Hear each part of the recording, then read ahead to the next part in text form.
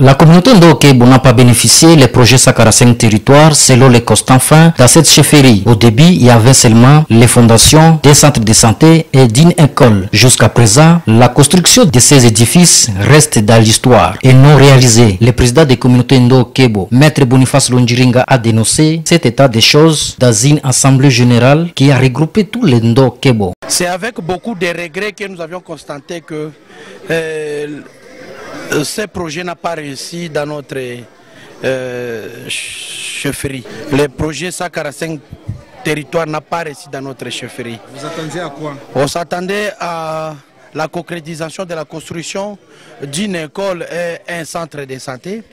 Malheureusement, rien n'a été fait. On a commencé avec une fondation, des fondations, rien n'a été élevé. C'est vraiment euh, notre tourment nous avions pris d'une manière euh, générale euh, une décision d'aller voir l'autorité, lui poser la question de savoir si réellement ce projet a été financé par le gouvernement national.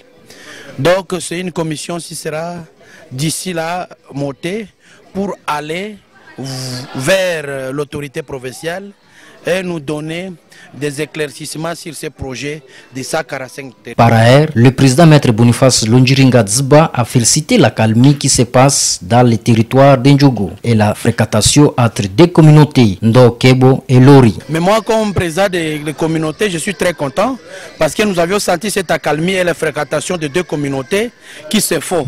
Nous avions vu les gens de, de, la communauté Lori qui fréquentent notre marché de Juda. Nous avions vu aussi les gens de, de qui viennent jusqu'à Tchele.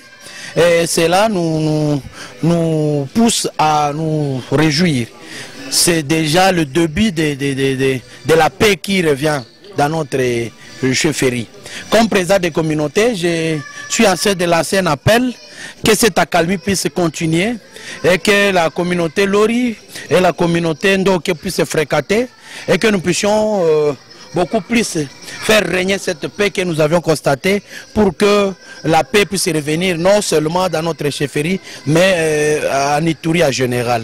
Que plusieurs membres des communautés Ndoke avaient acheté la carte d'identification.